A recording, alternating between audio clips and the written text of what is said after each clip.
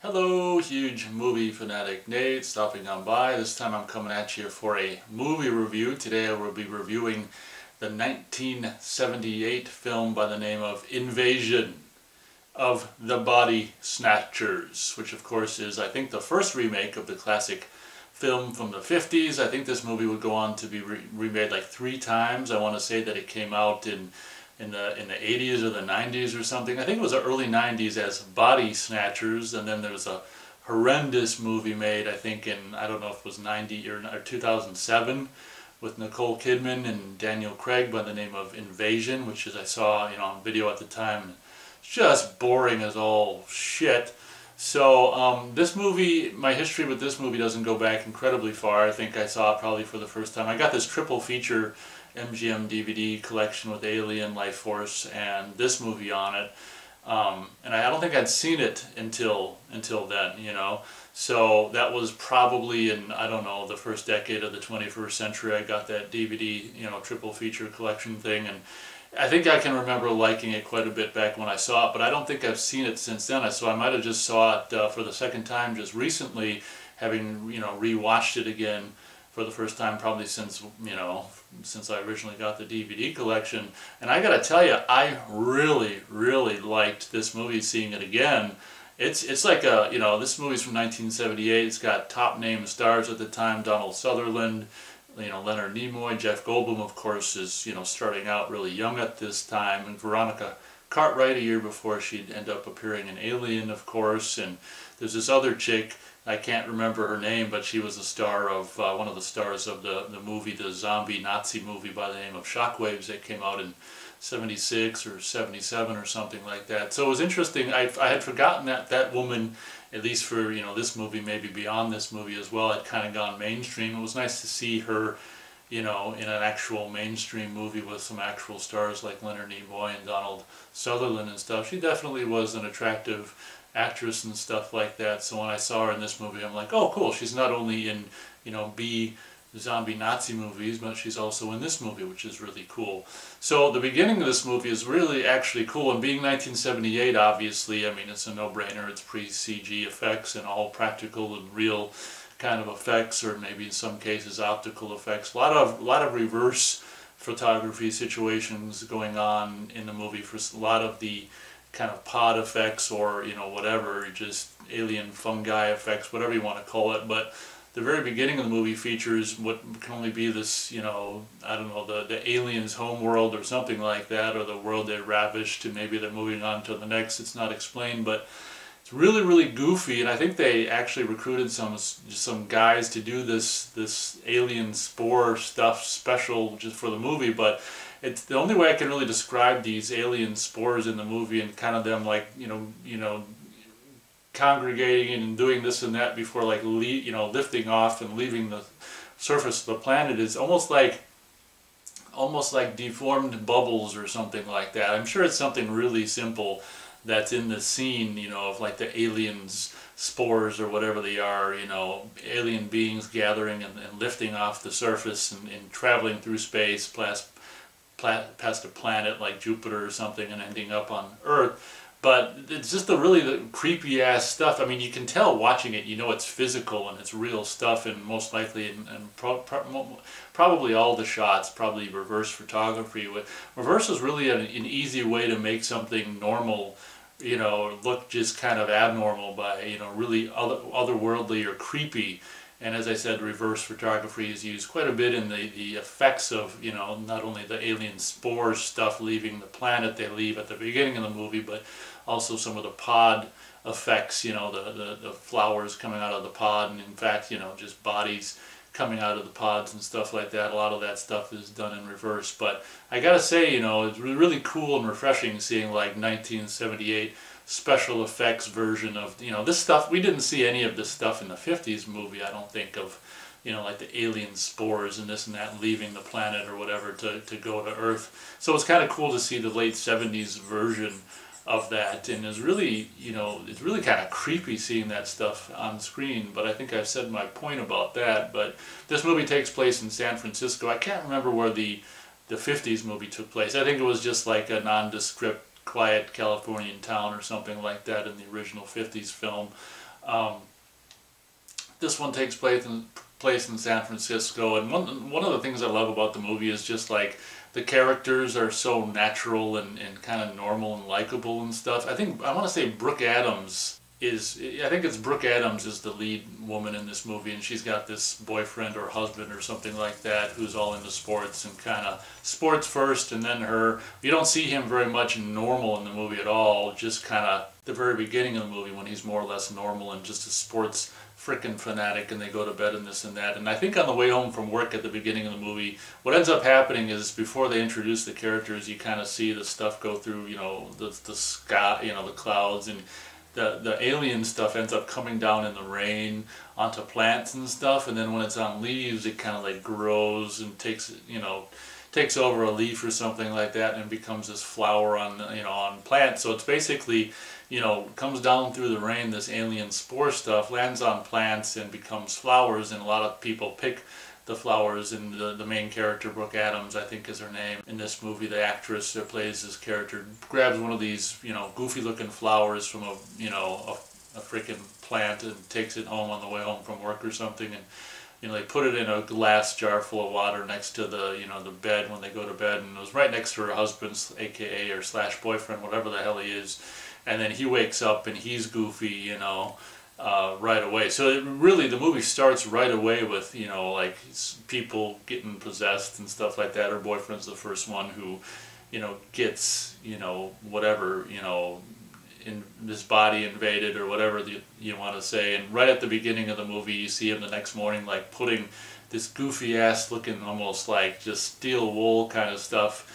And uh, you know, and taking it out in a trash can and putting it in the trash, the back of the you know garbage truck, and it's just like, well, that's probably you know the, remains of his real, you know, the real guy's real body and stuff. But I just, I just love the way the the, the characters are portrayed, and I mean, I'm not a huge Donald Sutherland fan, but I got to tell you, you know, seeing him in this movie, he's kind of kind of likable, and he's he's a great, you know, presence in the movie, and I think he's, I don't know if he's Brooke Adams' boss or something in this movie, possibly, but you can tell his character has, you know, a crush on her or something like that. And very early on in the movie, when she comes back the, that day, she realizes that her, her husband's off, or boyfriend, whatever the hell he is, is very off. And, you know, voices the concern to the Donald Sutherland character. And very early into the movie, you know, she gets, you know, she's starting to share the fact with Donald Sutherland character that, you know, something's not right. And then Donald Sutherland goes to pick up something at dry cleaning or something like that. And the,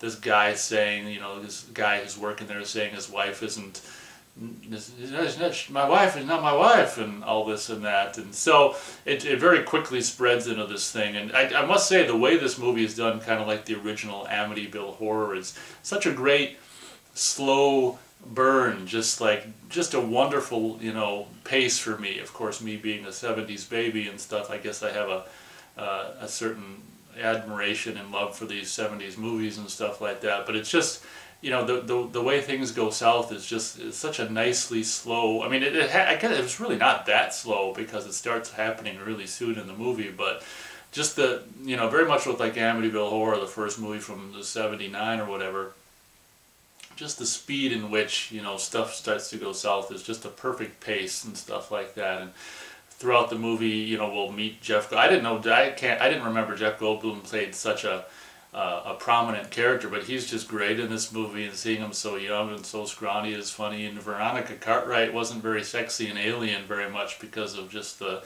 you know, the crew clothes they had her wear, but she's actually kind of sexy back in the 70s. So Veronica Cartwright was pretty cute back then. And I think I think uh, her and Jeff Goldblum character are married and they own they, they own and run this like you know, I don't know, massage parlor slash mud bath parlor. There's this really nasty shot where some fat ass guy gets out of the mud bath and you see his, duh, I don't even want to tell you what you see. Hopefully one day I can forget that I saw that, but uh, yeah, that, that, that part's nasty. But Jeff Goldblum must be really early in his career when he did this movie, but he is really, really fun in this movie. He's kind of like a, a hippie kind of a guy. I think a poet, you know, obviously he runs the mud bath, you know, thing with his wife or whatever. So he's a really, really fun character, and uh, and then Leonard Nimoy is this like you know kind of big wig psychiatrist, psychologist guy, and it's it's just you know it's really funny seeing him in movies like this where he's not Spock and he's got round human ears and he's laughing and smiling and stuff. Uh, it's kind of goofy, obviously. The, you know, obviously me, like so many other people, know Leonard Nimoy best from this characterization of Spock and stuff. So it's fun to see him. It's interesting to see him in other roles like this where he's a human. But it's funny because towards the end of the movie, he'll end up being more of a Spock-like character, which is kind of funny and interesting and stuff. But this is like just one year before Star Trek: The Motion Picture, I think. So that's kind of fun. Just I just love how the movie's you know just conceived, executed. I mean, it's just really great on all fronts, like written, like the dialogue, the the scenario, just what happens in the movie, and just also the the technical aspects of the movie as far as how it's shot and cut and stuff. And the music is you know, maybe not necessarily music as much as just, you know, like the electronic sounds and stuff. The music or electronic sounds, whatever the hell you want to call it for the kind of the soundtrack of the movie, if you will, is really creepy. In a lot of cases, you'll see, you know, pod people or whatever, and you'll just be this, like, this, you know, just foreboding, like, wow, wow, wow. I can't remember exactly how the, the, the sounds went, but it's kind of you know there was one cue that almost sounded exactly like a cue from the movie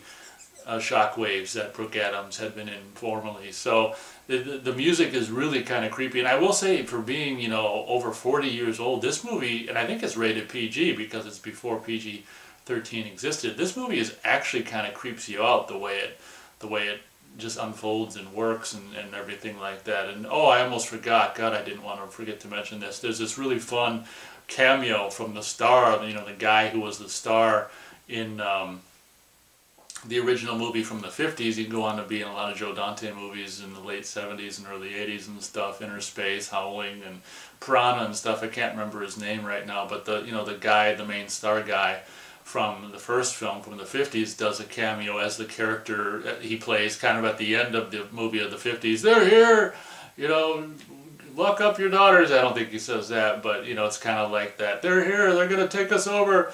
It's really, really cool. I forgot that he did that cameo in this movie and being the late 70s, he, he's still relatively young and stuff like that. And it was a really fun idea to put him in the movie as a as a cameo doing that, and then he just like gets hit by a car like moments later, and he, he unfortunately he doesn't last in the movie very long. But I think it was just long enough to have like a wink to the you know the, the fans of the the 50s movie and stuff. That was really fun fun detail. Yeah, really, really well done movie, like writing and just cinematography, editing, music, and just really, just, you know, it was just really fun to just see this movie from the late 70s and, and not see anyone on their cell phones and not see any computer generated effects and just analog movie, you know, freaking. There's this funny, there's this funny bit where they, it's almost like they, it was a commercial for this phone. The, the character of Brooke Adams and you know, her boyfriend and husband, whatever the hell he is, in their apartment, they have like this goofy ass, probably at the time it was probably high tech, but like their phone built into the wall or something where like, the, either the, I think the, I can't remember if it was push buttons or the rotary thing was on the phone and then the hook is on the wall and you, you pull the phone off the wall and then the cord will come out of this hole. And they even showcase it in a special shot. When she puts the phone back on the wall, you know, it, it shows that the, the the cord will then be you know like sucked back into the hole like you know it's kind of like the high-tech 70s phone. Get yours today. And it was just like so lame but cool at the same time. So the only, my only complaint with this movie is that I'm not too too keen on like the end of the movie where the Donald Sutherland character without spoiling too much of it I'll I'll just say that he, he kind of he kind of ruins some of the pods or you know does you know where they where they have their main pod productions area or something like that towards the end of the movie he kind of goes and destroys a lot of the pods. I'm, I'm not that's my only gripe about this movie is I do feel like it, it, it might be 15, 10 or 15 minutes too long and I'm I could have done without that scene but you know at the end of the day it's kind of the era of spectacle like you know the 70s is the the disaster movie era and decade and stuff. So it kind of probably felt like they had to have some spectacle in this movie, and you know, seeing him burn this this big warehouse. I guess I'm revealing a lot of it more than I intended, but having him burn this big warehouse full of the pod production facility is just kind of like spectacle. honestly, I could have done without it if I did a Nate cut. I'd probably just cut that out or whatever. This movie really doesn't, you know, this movie works on this subtle level, and I don't feel like it needs to, you know, have any spectacle in this movie. I think it, the spectacle scene was kind of out of place in my opinion, and like I said, made the movie 15, 10 to 15 minutes longer than it needed to be. One thing I won't ruin about the end of the movie, of course, is it's, there's kind of a twist on what happens in the original 50s movie on, you know, compared to the original 50s movie, a little bit of a twist on what happens at the very end of the movie. I won't spoil that, but I when when I rewatched it, you know, just recently, I, I hadn't I didn't remember how it ended, you know, as far as like the very very end, and as as it was happening, I'm like, oh yeah, oh that's just kind of a sad ending and stuff like that. And that's another thing I like about this movie. You know, I, I'm really not the biggest fan of like happy endings, or at least not. I won't say I don't like any happy endings, but I don't like happy endings all the time, you know, and I think the invasion of the Body Snatchers movie is definitely kind of a story that really shouldn't have a happy ending. And I think, didn't they like tack on some like half-ass happy ending at the end of the 50s movies too or something like that? So um, that definitely, you know, the ending is really kind of sad, but I think it's the ending that is, you know, should be at the, at the end of this movie. So my starage, unfortunately, I, you know, I would go four stars for this movie, but I'm just not a fan of that, like, that spectacle moment towards the end of the movie where Donald Sutherland, you know, blows up all these pods and stuff. So I, I, I still will be able to go three and three quarter stars out of four stars for the 1978 version of Invasion of the Body Snatchers. Highly, highly, highly recommended. If you like, you know, more um, slow moving movies from the 70s and stuff like that, and just analog era and no CGI and stuff, and you haven't seen this one yet, and you know, somehow you haven't seen this yet, and you're a fan of some of the other remakes or the original film, you gotta, you owe it to yourself to really check out this movie. And in my opinion, it's, it's really, really, really a well done movie, and probably a really a you know, a really well done movie for the time. So I guess that'll pretty much do it for my, for my review. Thank you very much for watching. And as always, we'll catch you on the next one.